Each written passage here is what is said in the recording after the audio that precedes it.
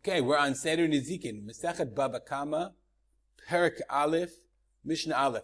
The beginning of Seder Nizikin, first Mishnah in Seder Nizikin. In order to understand Seder Nizikin, well, you have to first look at the Masechtot in Seder Nizikin, uh, which begin with the three Babas, Baba Kama, Baba Metzia, Baba Batra, and then go on to Sanhedrin, about the rules of the Sanhedrin, the, the, the courts, Makot lashes, oaths, testimony, and then the last three, Avodah Zara, Avot, and Horayot, we'll get to it, we get to it. What I want to start with is the first three Masechtot are Masechet Baba Kama, Baba Metzia, Baba Batra. So the Kehati, it's really, if you have it in English, you should read, or in Hebrew, the beautiful, beautiful, wonderful uh, introduction, both to the Seder and to the Masechet. So just as a note of the Babas, these three Babas, a Baba means a gate. Kama in Aramaic means first, middle, and last gate. These three Masechtot were really all one big, big Masechet called Masechet Nizikin. Masechet of damages or torts. So, so when we read Baba Kama, it's the first third, the second third, and the third third of tort law. And because these were all called Nizikin, so they called the Seder all Nizikin. So that's worthwhile to know. Baba Kama begins with Arba Avot Nizikin. Avot Nizikin are parent laws, Avot. So you have parent categories of Nizikin, of damage. So in order to understand that, in order to understand what the Arba Avot Nizikin are, it's probably worthwhile to spend a little bit of time, just a little bit of time, uh, understanding what the Avot Nizikin are. So we'll start with a little bit of a chart. What are the kinds of Avot Nizikim? So the main kinds of Avot Nizikim, there's something called shore. A person had a, an ox. But it doesn't have to be an ox. It means an animal that was used for domestic purposes. Okay? And, and that animal could cause damage in three kinds of ways. One is called Karen, with his horns. He could gore. Okay? But it's not just with his, with his horns. It's any kind of what's called nezek mechuvan, intentional damage. You got the animal mad, he gored another animal, and that animal died. Shein, Shein means teeth, but it really means, it usually means eating. So that's nezek shekishesh. The animal, you know, he, would, he, wants to eat. He wants to have, he has physical needs. And, and in, in fulfilling his own physical needs, the animal walked over. So it could be my camel walked over and ate my friend's straw. So that's shein. That's kind of shein. That's the avav shein. And finally, regel is, is, you know, walking or feet when the animal is doing what it normally does, derech walking. But any that, those are the avot. These are three avot of shore, and subcategories of those avot are are are called toladot. So that's shore. Bor bor means a pit. If a person opens up a pit in public in the backyard, that's one thing. But if he opens up a pit, let's say in, in, in front of his house, on the sidewalk, or in the street, he digs a pit. He needs a needs to dig a well. Somebody walks and falls in. Somebody's animal falls in. Esh, person lights a fire and then the fire gets out of control, you know, and, the, and, and burns down half the town. And finally, Adam Amazik, a person who causes, a person who causes damage. We all cause damage in different ways. A person, you know, is not careful with his car, smashes into somebody else's car, or whatever. There's a million different ways a person could cause damage. Those are the different kinds of avot nizikim, the, the kinds of different avot nizikim. And many of them are mentioned in, let me see if I can find it, oh, in the psukim, in uh, Shemot, Prakim Kav Aleph and Kapet. These are in Parshat Mishpatim. We're not going to eat, we're not going to read them all now, okay, but it's important to know that these, these appear. There's something called Karen, okay? A person, Yigach Shor Ish et Isha, if a shor uh, gores a person, Bor, Yiftach Ish Bor, when a person opens up a bor. Shein Varegal is an interesting one. This requires Ki Yaver Ish Sadeo Kerem, Yaver Be'ero. You have air, leave or, boer, to burn, but it doesn't mean to burn, it means to destroy. Shilachat bi'iro bi'er and he sent out his, his, his, his bi'iro. So Chazal darshan out, the Kehati explains that Chazal learn out, that in this case means his animal destroys. Okay, Yaver means shane, and bi'iro means regel. Meitav sadeh you have to pay. You have to pay, you know, uh, for the damage that you caused.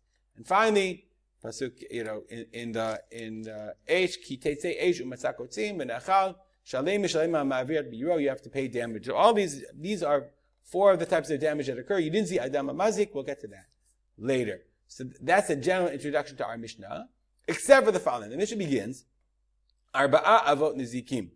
Hashor, v'habor, v'hamaveh, v'ahever. There are four parent categories avot nizikim. One is shor, one is bor, one is mav'eh, and hever. So two of them are obvious. Bor, we know what a bor is. Hever, boer, is fire. So we have bor and esh. What about the other two? So let, us remember these four and go back to, we made you a little bit of a chart. It turns out, the Gemara says, a huge machloket between Rav and Shmuel. Rav says that what are counted in the Mishnah, these, these are our four Avot Nizikim. Okay, he says Kol Sugei Nizikim, all of them. So Shor means Keren Shein and Regel, and, and Mav'eh means Adam Hamazik. means a person.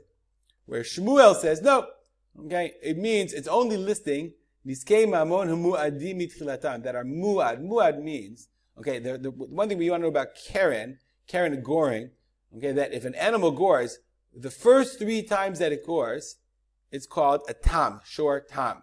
Let's, let's go back up to our chart. Karen, okay, is divided into shor tam. The first three times that it gores, shlosha, uh, nigichot, that's a gore, nigichot rishonot, the first three times that it gores, and it only pays chatzi nezek. After that, then it's after three times, the fourth time it becomes a shor muad. We'll learn on this, and it has to pay nezek shalem. So, back to our charge. Shmuel said only the things that are muad. So therefore, Karen is not on the list. Adam is not on the list. I guess because it's not your property. He didn't count people. So therefore, he said shor is regel, and maveh is shen. So the Arba Avot Nezikim, we're going to see that the that the Bartenura follows this position. So we're gonna we're gonna follow the position of the Bartenura and follow the position of Shmuel. But these are the Arba Avot Nezikim. Let's go back to our Mishnah. Arba Avot Nezikim. Four, there are four parent types of Nezikim. Shor, Bor, Maveh, and Hever. So remember, Bor we know. Hever we also know. But let's look at the Bartenura. Shor, Hu HaRegel. That's what we said. What is Regel? It causes damage while it's walking. Remember we learned in the pasuk v'shilachat be'iro. Okay, as you, as you send out your be'iro. So that's shor. Okay? What bor? Hapoteach bor rabim. Person opens up a pit in the public thoroughfare, and an animal falls and dies. Oh, you know, okay, causes a damage, and we'll learn is it how deep is it? Is it ten tefachim deep and it can, and it can kill, or less than ten tefachim? Mav'eh zahashen. What is shein? Teeth. Shachla behem Your animal eats in your friend's field, and there are avot, and then there are toldot. What is a toldat, for example, of a shein? Your animal is walking along. He's got an itch. He scratches up. He walks against the wall of your friend's, of your friend's, I don't know, house or courtyard and knocks it down. But he didn't try to damage. He just tried to, he tried to, for his own benefit. Hever zuad leikash It's a fire. Okay, and there are all kinds of toldos. So those are the avot, and each av, each parent has a tolda. Shor, we said, was regel. Bor is pit. Maveh is shein. Hever is esh. Says the Mishnah. Lo hare hashor kare hamaveh. Shor is not like maveh. Remember, we're learning in the Bar Bartenura. So regel is not like shein. V'lo hare hamaveh kare shor. And shein is not like regel. V'lo zeh. And neither shor and regel. Sheyesh be'em ruach chayim. That are dealing with live animals. Remember, it's shein and regel. It's eating or causing damage through walking.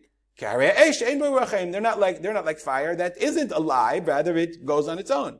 Neither shore, bor, or neither shore, shein, regel, and fire, shedarkan le'lechu lahazik, they go out and cause damage. They're not like bor, shein darko le'lech ulahazik, that it doesn't go out. Meaning what the Mishnah is saying is, why did the Torah have to give us all these different examples? Because if you learned from one, you wouldn't learn from the other. Now the Gemara goes through a whole, a whole discussion. Maybe I could learn from this, maybe I could learn from that. But Nonetheless, what the, what the Mishnah is trying to say is that the Torah has to tell us each one of them, that each one has its own unique properties. And nonetheless, you have to pay full damage if you cause damage. Because you would have thought, yes, if my animal causes damage, maybe the fire, it's not alive, it's not my responsibility. Maybe the pit, it stays where it is, not my responsibility. Hatzara shaveh shebehem, tzara shaveh means the common denominator between all of them, shedarkan lahazik, they cause damage. Their way is to damage. Ushmiratam alecha, and you must guard them. Ukeshihizik, and when you cause damage, chav, obligated. Chav amazik, the person who causes damage is obligated. L'shalem tashlume nezek b'meitav haaretz. He must pay nezek, the damage that he caused, b'meitav haaretz, with the best of the land. What is meitav haaretz? Mi'idit shemin chasav, from the best of his property. You might learn, you might remember in the, la- in the last uh, in the last Pesach, or some of the last Pesach, we learned there are three types of, of land. There's Edit, there's Beinonit, and there's Ziburit. There's Edit, the best. Okay, this is called, we'll call this Sugei, Sugei Karka, types of land.